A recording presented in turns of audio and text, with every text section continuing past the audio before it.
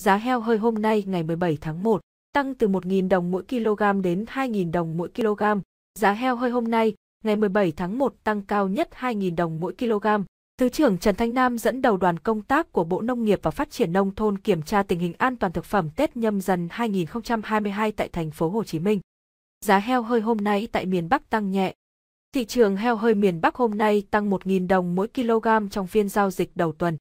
Cụ thể, tỉnh Thái Nguyên điều chỉnh giao dịch lên mức 52.000 đồng mỗi kg, ngang bằng với Nam Định, Phú Thọ, Hà Nam, Ninh Bình và Tuyên Quang. Yên Bái và Hà Nội cũng nâng giá thu mua lên mức 53.000 đồng mỗi kg. Giá heo hơi tại miền Bắc hôm nay được ghi nhận trong khoảng 50.000 đến 55.000 đồng mỗi kg. Cụ thể giá heo hơi tại Bắc Giang là 53.000 đồng mỗi kg, Yên Bái là 53.000 đồng mỗi kg, Lào Cai là 50.000 đồng mỗi kg, Hưng Yên là 55.000 đồng mỗi kg, Nam Định là 52.000 đồng mỗi kg, Thái Nguyên là 52.000 đồng mỗi kg, Phú Thọ là 52.000 đồng mỗi kg, Thái Bình là 53.000 đồng mỗi kg, Hà Nam là 52.000 đồng mỗi kg, Vĩnh Phúc là 50.000 đồng mỗi kg, Hà Nội là 53.000 đồng mỗi kg, Ninh Bình là 52.000 đồng mỗi kg, Tuyên Quang là 52.000 đồng mỗi kg. Giá heo hơi hôm nay tại miền Trung, Tây Nguyên tăng giải rác. Giá heo hơi khu vực miền Trung, Tây Nguyên cũng tăng theo xu hướng thị trường trong hôm nay. Theo đó, sau khi tăng nhẹ một giá, tỉnh Quảng Trị điều chỉnh giao dịch lên mức 51.000 đồng mỗi kg.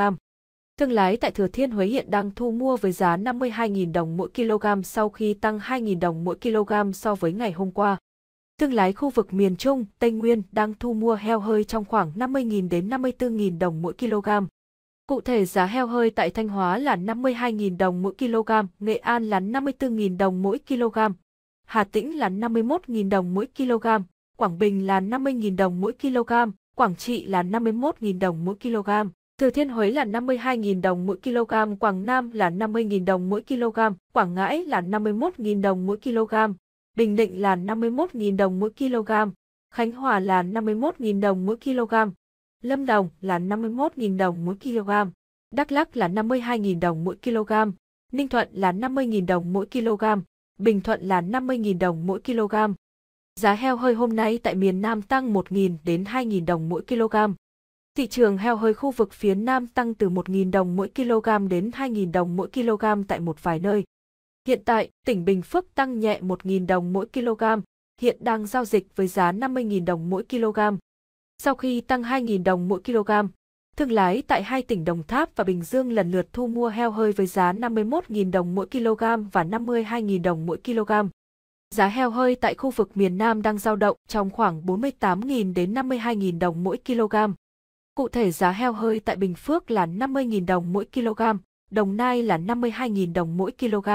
Thành phố Hồ Chí Minh là 50.000 đồng mỗi kg, Bình Dương là 52.000 đồng mỗi kg, Tây Ninh là 50.000 đồng mỗi kg, Vũng Tàu là 50.000 đồng mỗi kg, Long An là 48.000 đồng mỗi kg, Đồng Tháp là 51.000 đồng mỗi kg, An Giang là 48.000 đồng mỗi kg, Vĩnh Long là 50.000 đồng mỗi kg, Cần Thơ là 50.000 đồng mỗi kg, Kiên Giang là 48.000 đồng mỗi kg, Hậu Giang là 50.000 đồng mỗi kg, Cà Mau là 48.000 đồng mỗi kg, Tiền Giang là 49.000 đồng mỗi kg, Bạc Liêu là 50.000 đồng mỗi kg, Trà Vinh là 49.000 đồng mỗi kg, Bến Tre là 49.000 đồng mỗi kg, Sóc Trăng là 49.000 đồng mỗi kg.